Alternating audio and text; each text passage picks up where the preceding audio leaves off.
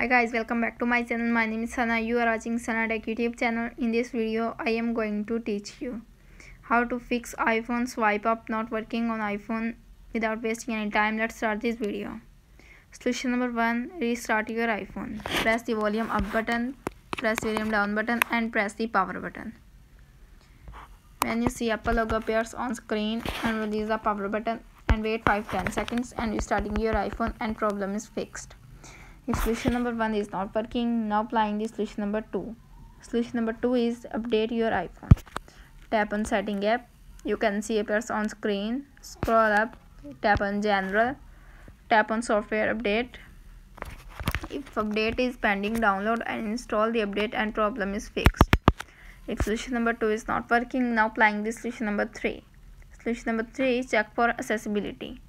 Tap on setting app you can see appears on screen scroll up tap on accessibility.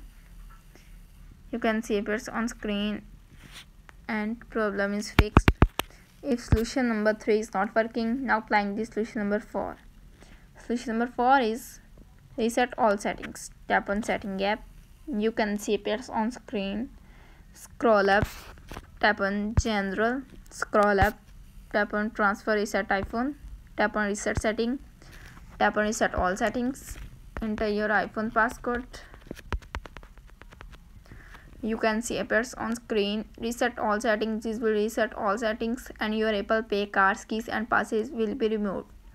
No data media will be deleted. Tap on reset all settings to confirm this action and problem is fixed. If all solutions are not working on your iphone simply contact support.apple.com and fix your problem how to fix iphone swipe up not working on iphone successfully that's it. If the video helpful to you please don't forget to share and subscribe my youtube channel. Thanks for watching